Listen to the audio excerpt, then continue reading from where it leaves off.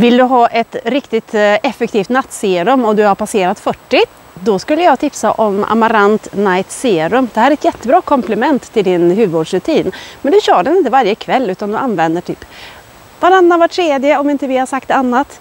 Det här är en fermentering. Den innehåller jättefina frukt och bärsyra, alltså ha-syror. Den innehåller mandel, aprikos, chia och en riktigt, riktigt skönt nattserum. Och vad händer då med den här? Jo, den kommer att exfoliera huden så du får ett fint glow, får en fin textur och jämnar ut hudtonen och gör det där lilla extra som vi vill ha i vår hudvårdsrutin.